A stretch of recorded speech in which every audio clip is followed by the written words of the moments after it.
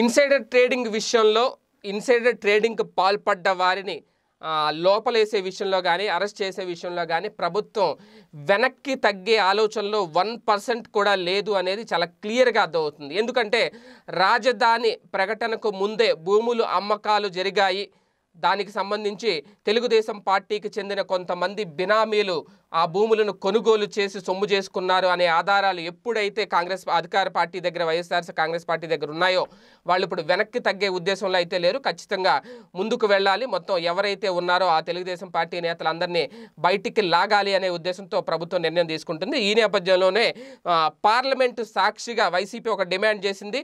కేంద్ర ప్రభుత్వాన్ని ఖచ్చితంగా దీని మీద సిబిఐ విచారణ జరిపించాలి. ఇన్సైడర్ ట్రేడింగ్ దాని మీద అని చెప్పి మిథున్ రెడ్డి వైసీపీ ఎంపీ మిథున్ రెడ్డి లోక్సభలో ఈ ప్రస్తావన తీసుకురావడం ఇప్పుడు చర్చనీయాంశమైంది. అది కూడా సిబిఐ ఎంక్వైరీ అనేది చంద్రబాబు గారి మీద జరిపించాలి అనేది ఇప్పుడు ప్రధానంగా వైసీపీ నుంచి వస్తున్న డిమాండ్. అయితే అమరావతి వేదికగా భారీ కుంభకోణం జరిగింది అనే ఆరోపణలు మొదటి నుంచి ఉన్నాయి. ఆ ఆరోపణలు తగ్గట్టుగానే తెలుగుదేశం పార్టీ అమరావతిని అమరావతిలోనే రాజధాని ఉంచాలని డిమాండ్ చేయడం అక్కడ రైతులను రెచ్చగట్టి ఉద్యమాలు నిరసనలు చేయించడం మొదట్లో సపోర్ట్ ఇవ్వడం ఇప్పుడు వెనక్కి తగ్గడం టోటల్గా ఈ ప్రాసెస్ అంతా చూస్తూ ఉంటే ప్లస్ వీళ్ళ దగ్గర నాలుగు వేల ఎకరాలకు చెందిన బెనామీ నేతల లిస్టు ఇప్పుడు అధికార పార్టీ చేతిలో ఉండడం ఓవరాల్గా ఇదంతా చూసుకుంటే కనుక ఖచ్చితంగా అక్కడ ఏదో జరిగింది అనే ఆ- అనుమానాలు కూడా ప్రజల్లో మొదలైనాయి. ఇదే టైంలో ఆల్రెడీ సిఐడి విచారణ మొదలుపెట్టింది.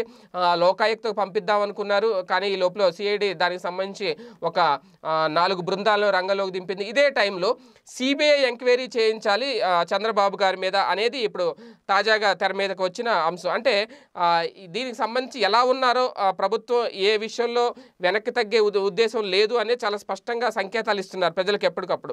ఎందుకంటే వైఎస్ జగన్మోహన్ రెడ్డి గారు ప్రభుత్వం నియమించిన కమిటీ ఏదైతే ఉందో కేబినెట్ సబ్ కమిటీ ఏదైతే ఉందో ప్రా వాళ్ళు ఇచ్చిన ప్రాథమిక నివేదిక ప్రకారం నాలుగు వేలకు ఎకరాల పైగా అంటే నాలుగు వేల డెబ్బై ఎకరాలు టీడీపీ నేతలు బినామీలతో కొనుగోలు చేశారనేది ఒక స్పష్టమైన ఆరోపణ ఉంది. దానికి సంబంధించి దాదాపు జీ బీపీఎల్ కోటాలో ఉన్న ఏడు వందల ఎనభై మంది కోట్లాది రూపాయల విలువైన భూములను కొనేశారు. అంటే వీళ్ళందరికీ తెల్ల రేషన్ కార్డులు కూడా ఉన్నాయి. దాని మీద సిఐడి కూడా చెప్పింది. తెల్ల రేషన్ కార్డులు ఉన్న వాళ్ళు ఇదంతా సో ఇప్పుడు అమరావతిలో ఇన్సైడర్ ట్రేడింగ్ జరిగింది అనే దానికి మీద సంబంధించి క్యాబినెట్ సబ్ కమిటీ ఇచ్చిన ఆధారాలు ఏవైతే ఉన్నాయో అందులో చంద్రబాబు నాయుడు గారి పేరు అలాగే నారా లోకేష్ గారి పేర్లు కూడా వీళ్ళు ఉంచడం జరిగింది. వీరితో పాటు ఎవరెవరు ఏ ఏ పేర్లతో భూములు కొనుగోలు చేశారు బినామీ పేర్లతో ఎంత ఉన్నాయి వాళ్ళ బంధువులు పేర్లతో ఎంత ఉన్నాయి ఇవన్నీ కూడా ఒక లిస్ట్ అయితే సబ్ కమిటీ దగ్గర ఉంది. దాన్నే ఇప్పుడు సిఐడికి అప్పగించడం కూడా జరిగింది. అయితే ఇప్పుడు దీనికి సంబంధించి ఇప్పుడు ఏదైతే సిఆర్డిఏ సరిహద్దులు మార్చడం ద్వారా టీడీపీకి చెందిన మరికొందరి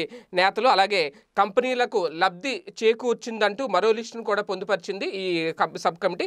టీడీపీ ప్రభుత్వం ఐదు సంస్థలకు ఎనిమిది వందల యాభై ఎకరాలను ఎకరాల భూములను కేటాయించిందని అందులో కూడా భారీగా అవకతవకలు చోటు చేసుకున్నాయి అనేది కేబినెట్ సబ్ కమిటీ రిపోర్ట్లో చాలా క్లియర్గా పొందుపరిచారనమాట సో సో ఇప్పుడు ఏం జరగబోతోంది? ఒకవేళ అందుకే ఇన్ని ఆధారాలు ఉన్నాయి కాబట్టి సిబిఐ విచారణ జరిపించమని చాలా గట్టిగా ప్రెజర్ చేస్తుంది. కేంద్రం మీద రాష్ట్ర ప్రభుత్వం ఒకవేళ అదే కనుక జరిగితే ఈ గాది కింద దాక్కున్న పంది కుక్కలందరూ ఎంతమంది బయటకు వస్తారు ఈ అవినీతి భూభాగవతం బట్టబయలైతే తెలుగుదేశం పార్టీ పరిస్థితి ఏంటి అనేది వేచి చూద్దాం.